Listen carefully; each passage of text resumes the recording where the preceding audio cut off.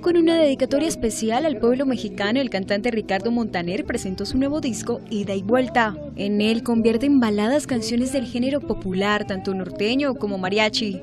Le dije que no altere el, número de discos que yo voy a hacer. Esto es como, como una especie de regalo que yo quiero darle especialmente al público mexicano. Entonces, y lo vamos a hacer para México.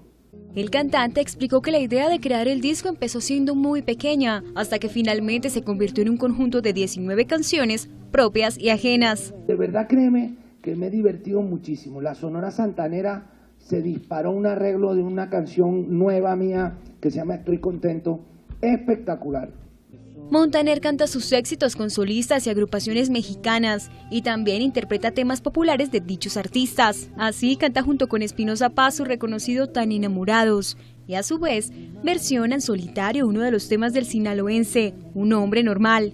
Probablemente para el público que solo escucha música, digamos, popular mexicana y que prende las radios en donde se oye música de banda o mariachi, es muy difícil que escuche mi balada.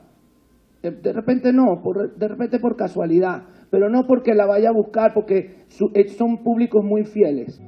Como carta de presentación de ida y vuelta, el cantautor presenta el tema Aunque ahora estés con él, cuyo videoclip narra una agitada historia de amor enmarcada en los conflictos sociales de Venezuela y con el que intenta apelar a la reconciliación del país en el que creció.